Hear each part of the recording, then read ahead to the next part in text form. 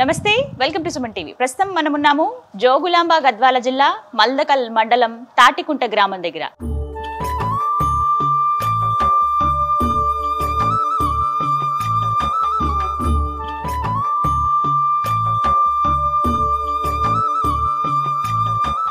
ఈ మధ్యనే వెలుగులోకి వచ్చినటువంటి ఫోక్ సింగర్ సాయి వాళ్ళ ఊరిది. పల్లెటూరి పిల్లగాడ పసులుగా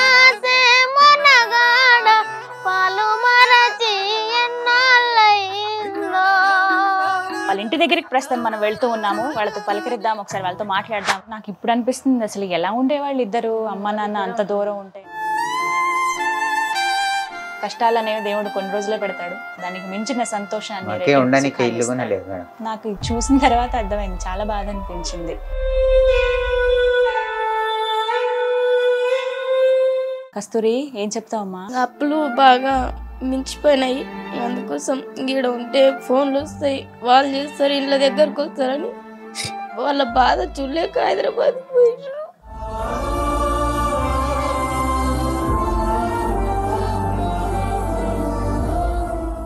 ఎలాగైనా కేటీఆర్ సారు మాకు మన సాయం చేయాలని నేను కూడా మనస్ఫూర్తిగా కోరుకుంటున్నాను. చేస్తే వాళ్ళకి మేము జీవితాంతం రుణపడి ఉంటామని చెప్తున్నాను. బాధపడదు వచ్చి మిమ్మల్ని బాధ పెట్టానని కాదు కానీ మీ కష్టం ఏంటో మీ బాధ ఏంటో తెలుసుకుందామని సుమన్ టీవీ ఇక్కడి దాకా వచ్చింది. ఒకసారి వాళ్ళ ఇల్లు కూడా చూద్దాం అనిపించింది. మరి చూద్దామా? నాతో పట్టు రండి.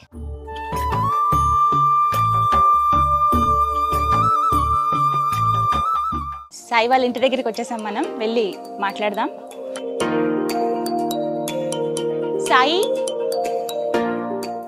హాయ్ సాయి. హలో అండి. నమస్తే నమస్తే. ఇదేనా మీ ఇల్లు లోపలికి రావచ్చా? టూ రూమ్లే ఉన్నాయి. చిన్న ఇల్లు చాలా. కానీ చల్లగా ఉంది తెలుసా? బయట ఎండ నుంచి వచ్చిన తర్వాత ఇక్కడ నాకు చాలా చల్లగా అనిపిస్తుంది. హాయ్ ఎలా ఉన్నారు? సో హ్యాపీ కదా?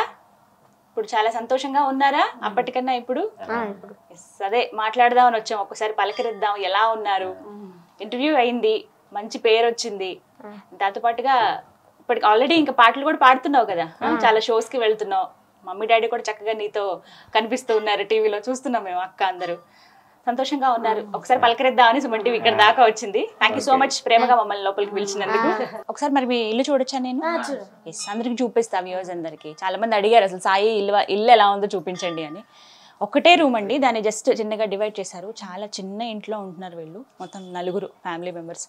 సో దీన్ని బట్టి అర్థమవుతుంది ఎంత పేదరికంలో ఉన్నారు వీళ్ళని. అండ్ సాయి చదువుతున్న స్కూల్ కూడా జిల్లా పరిషత్ స్కూల్. అక్క తను ఇద్దరు కూడా ఒకటే క్లాస్లో చదువుతున్నారు. అండ్ వాళ్ళ స్కూల్ కూడా వెళ్ళాం మేము. ఆ వీడియో కూడా ఉంటుంది చూడండి. అండ్ ఇదే వాళ్ళ ఇల్లు. ఎస్ ఇది కిచెన్. ఒకటే రూమ్ని కొంచెం డివైడ్ చేసుకున్నారు. ఇగో ఇక్కడ దేవుడు. ఇక్కడే వంట. వంట కూడా ఇక్కడే చేస్తూ ఉన్నారు. అండ్ సామాన్లు అన్నీ. భద్రపరచుకోవడానికి ఇది ఒకటే ప్లేస్ వాళ్ళకి. చాలా చిన్నగా ఉంది ఇల్లు. అండ్ చాలామంది ఇంటర్వ్యూ చూసిన తర్వాత కొంతమంది ఇల్లు కట్టుకోవడానికి హెల్ప్ చేస్తానని కూడా చెప్పారు. వాళ్ళందరికీ ఇంకొకసారి థ్యాంక్ యూ చెప్పాలి. బట్ వీళ్ళకి ఇల్లు చాలా అవసరం అని అర్థమవుతుంది. ఇలా చూసిన తర్వాత పైన రేకులతో వేసుకున్నారు జస్ట్ సింపుల్గా నలుగురు ఎలా ఉంటారు ఇక్కడ? అండ్ దాంతోపాటు ఏంటంటే ఎండాకాలం ఎంత ఘోరంగా ఉంటుంది మనం ఊహించుకోగలం. ఇంకా పల్లెటూరులో ఇంకా వేడి ఎక్కువగా ఉంటుంది కదా? ఎస్ చాలా చూస్తుంటే కొంచెం బాధ అనిపిస్తుంది కానీ ఇలా ఉండి వచ్చిన పిల్లోడికి అంత టాలెంట్ ఉంది ఇంత ఫేమస్ అయ్యాడు మట్టిలో మాణిక్యం అంటే నిజంగా సాయి గ్రేట్ అనే చెప్తానండి వాళ్ళ పేరెంట్స్ తనకి ఎంకరేజ్ చేయటము. అండ్ ఇక్కడ పక్కకి జస్ట్ చిన్న ప్లేస్ ఉంది వాష్రూమ్కి అంతే. చాలా చిన్న ఇల్లు. మనకి ఇంటర్వ్యూలో కూడా వాళ్ళ పేరెంట్స్ మనతో చెప్పారు ఒక మాట గుర్తుందా? సాయికి ఫైవ్ ఇయర్స్ అప్పుడు చేతులు కాళ్ళు వంకర్లు అయిపోవటం. అంటే ప్యారలైజ్ అయిపోయినట్టుగా అయిపోయింది తన పరిస్థితి. మాకు ఏం చేయాలో కూడా అర్థం కాలేదు. బట్ తనకి నయం చేయడానికి మేము చాలా కష్టపడ్డాం ఉన్న పొలం కూడా అమ్మేసుకున్నాం. అప్పులు కూడా అయ్యాం ఆ టైంలో పర్టికులర్గా అని కూడా చెప్పారు. అప్పుడు చాలా బాధ అనిపించింది విన్నాక. కానీ తర్వాత నిజంగా మెరాకిల్స్ జరుగుతాయి కదా తనకి నయం అవ్వటం తను ఇంత చక్కగా మంచి పేరు తెచ్చుకోవడం అనేది చాలా గొప్ప విషయం. ఇదే ఇల్లు. మనకి రాగానే కొంచెం ప్రశాంతంగా అనిపించినా ఒక్కసారి వీళ్ళ పరిస్థితి తలుచుకున్నాక నాకు బాధ అనిపిస్తుంది. అండ్ కస్తూరి వాళ్ళ అక్క ఎవరైతే ఉన్నారో తను సాయి ఇద్దరే ఇక్కడ ఉంటున్నారు. చెప్పాను కదా అప్పులు అయిపోయినప్పుడు వీళ్ళకి ఏం చేయాలో అర్థం కాలేదు. ఇంకా వేరే దిక్కుతో వచ్చాక వాళ్ళు ఇంకా హైదరాబాద్ వెళ్ళిపోయి అక్కడే కూలి పని చేస్తూ ఎంతో కొంత డబ్బులు పోగేసుకుంటూ ఆ అప్పుల్ని తీర్చుకుంటూ మిగతా టైంలో ఆరు నెలలకో లేకపోతే ఏడు నెలలకో పిల్లల్ని చూడడానికి వచ్చేవాళ్ళు అంటండి నిజంగా చాలా బాధ అనిపిస్తుంది కదా.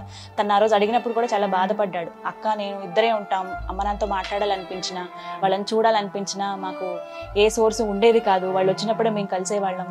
అది కొంచెం బాధ అని చెప్పి అప్పుడు తను కంటితడి కూడా పెట్టుకున్నాడు. నిజంగా అది బాధపడాల్సిన విషయమే. సో వాళ్ళకున్న అప్పులు తీర్చడానికి వాళ్ళకున్న ఫ్యామిలీ పరిస్థితి ఎలా ఉంది అవి నెట్టుకు రావాలంటే సిటీకి వెళ్ళి అక్కడ పని చేసుకుని ఎప్పుడుకోగానే వచ్చేవాళ్ళు కాదు. పాపం కస్తూరి తను కూడా నైన్త్ క్లాస్ ఇద్దరు ఒకటే క్లాస్ తను చిన్నపిల్లే తనే వంట వండి వాళ్ళకి వాళ్ళ తమ్ముడికి వంట పెట్టేది. మార్నింగ్ వెళ్ళి ఇంకా మధ్యాహ్నం అక్కడ తిన్నా కానీ సాయంత్రం మళ్ళీ ఫోర్ థర్టీ అలా అయినా. మామూలుగా పిల్లలకి ఎలా ఉంటుంది ఆ ఏజ్లో ఉన్న వాళ్ళకి చక్కగా అందరితో కలిసి ఆడుకోవాలి. టైం స్పెండ్ చేయాలి పేరెంట్స్తో ఉండాలని ఉంటుంది. బట్ వీళ్ళ పరిస్థితి అలా కాదు. వాళ్ళకున్న ఫ్యామిలీ సిచ్యువేషన్కి వాళ్ళకున్న ఇంటి పరిస్థితికి అమ్మ నాన్నేమో ఎక్కడికో వెళ్ళి పని చేస్తూ ఉంటారు. వాళ్ళేమో ఇక్కడే ఉంటారు. తను ఈ క్రమంలోనే మేబీ ఆ బాధల నుంచి అలా నెమ్మదిగా పాటలు పాడడం ఏమీ నేర్చుకున్నాడేమో. చాలా చక్కగా పాటలు పాడతాడు. ఎంత మంచి పేరు వచ్చింది ఇప్పుడు తనకి. అవి వాళ్ళ పేరెంట్స్తో మాట్లాడదాం. హలో అండి. ఎస్ మీ ఇల్లు చూద్దామని ఒకసారి వచ్చాము. సాయి ఇంత మంచి టాలెంటెడ్ పర్సన్ తను ఒకసారి వాళ్ళ స్కూల్ కూడా వెళ్ళి చూసాం మేము అండ్ అలాగే ఇంటికి కూడా వద్దాం అనుకున్నాం అందుకే వచ్చాము. బట్ చాలా చూస్తే బా చాలా బాధ అనిపిస్తుంది. అంటే ఒకటే రూమ్ మీరు ఉన్నది చాలా తక్కువ ప్లేస్ ఉంది. కానీ చాలా నీట్గా ఉంచారమ్మా మీరైతే ఇల్లు. అది బాగుంది చాలా. బట్ ఏం చెప్పాలనుకుంటున్నారు మీరు? మీరు మేబీ ఊహించి ఉండరు ఇలాంటి పొజిషన్ వస్తుంది అని. మీ అబ్బాయికి పాటలు బాగా పాడతాడని తెలుసు కదా మీకు. ఎప్పటి నుంచో. బట్ మీరు ఊహించారా ముందు ఇలా జరుగుతుంది? ఏం ఊహించలేదు మేడం. మా ఇంత స్థాయికి ఇట్లా వస్తారని అనుకోలేదు మేడం. ఇప్పుడు ఏం చెప్పాలనుకుంటున్నారు? మాకేం లేదు మేడం. కేసీఆర్ సార్కి కేటీఆర్ సార్కి మాకు ఇల్లు లేదు. అప్పుల బ- బాధలు ఉన్నాం మా బాబాయ్ మా బాబు ఇంత సింగర్ అయినాడు. మాకు ఏదో ఒకటి నలుగురికి ఎంతమందికో సాయం చేసినారో సార్ వాళ్ళు? మాకో ఇల్లు కట్టిస్తే మాకు బాగుంటుందని మేము కోరుతున్నాం సార్ ప్రభుత్వం. అమ్మా మీరేం చెప్తారు మీ అబ్బాయి గురించి? ఎంత మంచి పేరు తెచ్చుకున్నాడు తెలుసా మీ అబ్బాయి? చక్కగా తను మీకు కూడా పేరు తెచ్చాడు ఊరికి పేరు తెచ్చాడు స్కూల్కి పేరు తెచ్చాడు. అదే ఇల్లు లేదు. హ్మ్. ఇంకా అదే చేసుకోవాలని పోయినాం కదా. కేటీఆర్ సార్ ఒకటి ఇల్లు ఒకటి సాయం చేస్తే బాగుంటుందని. నిజంగా నాకు తను ఇంటర్వ్యూలో మాట్లాడినప్పుడు అక్కే వండి పెడుతుంది. ఎలా ఉంటారంటే నాకు ఇప్పుడు అనిపిస్తుంది. అసలు ఎలా ఉండేవాళ్ళు ఇద్దరు? అమ్మ నాన్న అంత దూరం ఉంటాయి నిజంగా కదా? చాలా బాధ అనిపిస్తుంది. ఏడోక్ నాన్న ఏం కాదు. మీ తమ్ముడు మంచి పేరు తీసుకొచ్చాడు. మీకు కావాల్సినవన్నీ కూడా వస్తాయి. కష్టపడే తత్వం మీలోనే ఉంది కాబట్టి తనకు కూడా అది అలవాటు అవుతుంది. చక్కగా ఇంకా మంచి అవకాశాలు వస్తాయి. బాధపడకండి అమ్మ. చెప్పాలనుకుంటున్నారా ఏమన్నా? మ్మ్, బాధపడద్దు. మీరు బాధపడాల్సిన అవసరం లేదు ఇంకా. కష్టాలు అనేవి దేవుడు కొన్ని రోజులే పెడతాడు. దానికి మించిన సంతోషాన్ని నాకు చూసిన తర్వాత అర్థమైంది. చాలా బాధ అనిపించింది. ఇంకా మీకు అప్పులు క్లియర్ అవుతున్నాయా? వాటిని బాబుని పాపని. స్కూల్ దగ్గర ఇడిచి వాళ్ళు ఎట్లా వండుకుంటారో అది తెలియదు మేడం.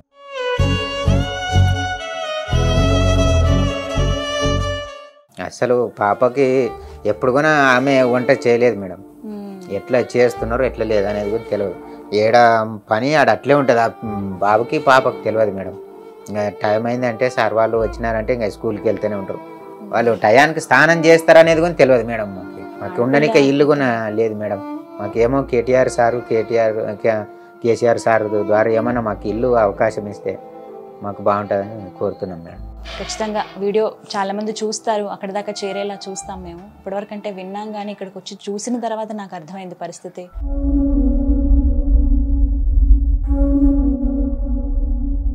కస్తూరి ఏం చెప్తావమ్మా? ఎలా వండుతావు తల్లి? అసలు ఎలా ఉంటున్నారు మీరు? పెద్దవాళ్ళు ఎవరు లేకుండా? ఇద్దరూ చిన్నోళ్ళే తమ్ముడు చిన్నోడే నువ్వు చిన్నదానివే. అమ్మ వాళ్ళని చూడడానికి కూడా ఉండదు. నాకే చాలా బాగా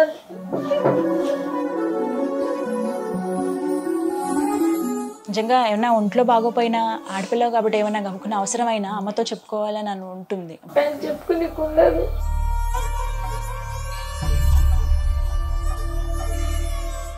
ఎలాగైనా కేటీఆర్ సారు మాకు మన సాయం చేయాలని నేను కూడా మనస్ఫూర్తిగా కోరుకుంటున్నాను. చేస్తే వాళ్ళకి మేము జీవితాంతం రుణపడి ఉంటామని చెప్తున్నాను. బాధపడదు. వచ్చి మిమ్మల్ని బాధ పెట్టానని కాదు కానీ మీ కష్టం ఏంటో మీ బాధ ఏంటో తెలుసుకుందామని సుమంటివి ఇక్కడి దాకా వచ్చింది. బట్ ఈ వీడియో ఖచ్చితంగా పెద్దల వరకు వెళ్ళేలా చూస్తాము. అంటే మేము చిన్నప్పటి నుంచి నాకు తెలిసినప్పటి నుంచి మేము సరిగా కూడా స్కూల్కి పోయేది లేదు. ఏమ్మా? అంటే చేనులో పని ఉంటుంది లేదంటే పని చేసుకోబోకుంటే అప్ప అప్పల వాళ్ళు ఫోన్ చేస్తారు వచ్చి ఇంటికాడికి వస్తారు. వచ్చి అడిగితే మేమేం చెప్పుకోలేకపోయాము.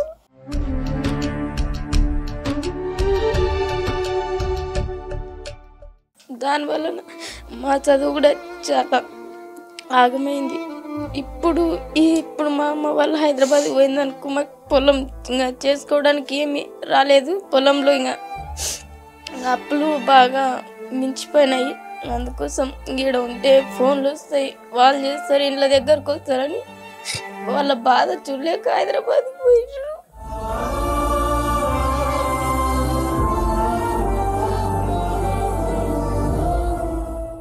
నాకు చాలా బాధ అనిపిస్తుంది. నిజమే అంటే పిల్లలు ఎలా ఉంటారు ఇంకా అమ్మ నాన్న లేకుండా? నేను చెప్పినప్పుడు విన్నాను కానీ ఇక్కడికి వచ్చి చూసిన తర్వాత అర్థమైంది.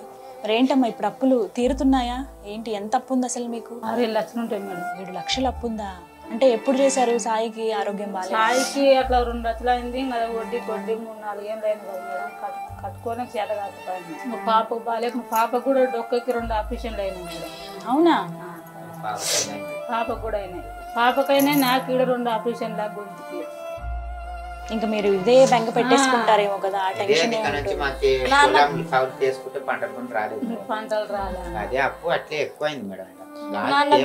ఇంకా పిల్లలు నువ్వు వడ్డీలన్నా కట్టుకుంటాం కదా అన్నట్టే ఇంకా వాళ్ళు చేయాలి నాన్నకు కూడా మేము చిన్నప్పుడు ఉన్నప్పుడు మందు కొట్ మందు కొట్టేటప్పుడు ఎక్కింది మంది ఎక్కింది. దానివల్ల నాన్న కూడా చనిపోయే పరిస్థితిలో మరి బతికొచ్చిండు. మాకు ఇంతవరకు కూడా నాన్న కూడా చనిపోయింటే నాన్న ఎవరైనా కూడా తెలియకపోయి. లేదు లేదు అలా జరగలేదు కదా అలా జరగకూడదు. కనీసం మీరు వెలుగులోకి వచ్చారు. సాయి వల్ల మీ పరిస్థితి ఏంటని కొంతమందికైనా తెలుస్తుంది ఇప్పుడు. సో పై అధికారులు ఎవరున్నా కానీ మా పరిస్థితి మాటకి ఎవరికి రాకూడదు. ఎదుటి వాళ్ళకు కూడా రాకూడదనే కోరుకుంటున్నాను నేనైతే. కడుపు నిండా అన్నం తిన్నీకులా కంటారా నిద్రపోనీకులేదు మాకు. తినడానికి రెండు నెలలు మేడం. రేకులు అసలు కాక బండ్ల వరకు ఇద్దరు వాళ్ళు మూడే పట్టుకున్నాం వాళ్ళ బండ్లు కూడా మేమే పట్టుకున్నాం ఇవా? ఒక్క కూలి మధ్యన పెట్టుకుంటే మేమే చేసుకున్నాం దీన్ని. ఏం మంచిగా పెట్టించింది చేసింది లేదు. రెండు నెలలు కారంతో తిన్నాడు మేడం. ఏం లేక ఇంట్లో.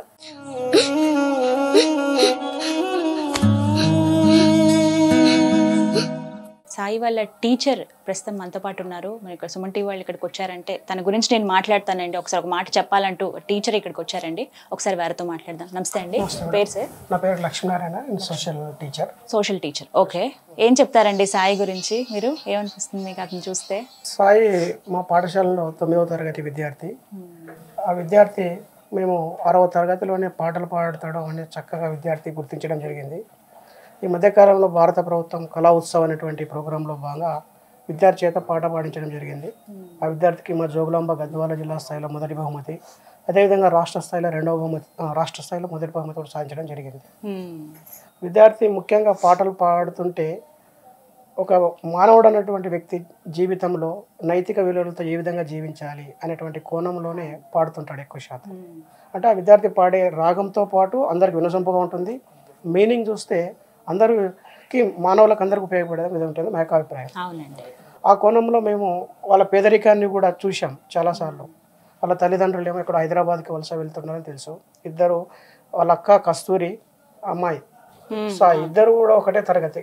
వండుకొని వాళ్ళే తిని చదువుతున్నారంటే చాలా గ్రేట్. ఈరోజు గ్రామాలలో బడికి రాని పిల్లలు కొంతమంది ఉన్నప్పటికీ కూడా వెళ్ళే వంట చేసుకొని వస్తున్నారంటే మా ఉపాధ్యాయులు కూడా ఆ విద్యార్థుల పట్ల చాలా అభిమానం ప్రేమ కలిగి ఉన్నారు.